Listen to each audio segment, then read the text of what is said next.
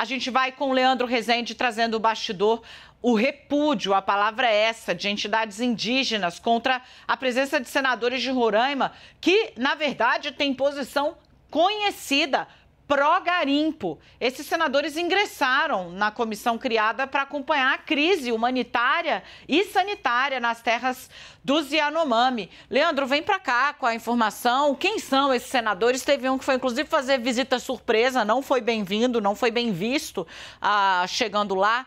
Explica para gente. Isso, Dani, é o senador Chico Rodrigues, né, que fez essa visita à terra Yanomami e ele é o presidente dessa comissão. O outro senador citado é o senador Irã Gonçalves e também o senador Messias de Jesus. Em resumo, eles são citados por sua hostilidade e inimizade com os povos indígenas de Roraima. Foram listadas pelo Conselho Indigenista Missionário várias ações que esses senadores tiveram, segundo os indígenas, ao longo do tempo, que seriam pró-garimpo e contra os interesses dos indígenas. Daí a insatisfação generalizada, eu estou citando aqui o Conselho Indigenista Missionário, mas outras organizações também já vieram a público para repudiar a presença justamente dos três senadores do estado de Roraima nessa comissão que foi criada ali para poder acompanhar pelo Senado a crise na terra indígena Yanomami. Claro, como os senadores foram citados, né, dois já me responderam. O senador Messias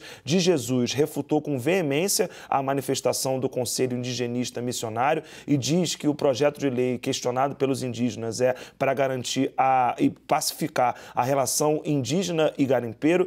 E também o senador Irã Gonçalves lamentou as falsas narrativas dos indígenas. Dani.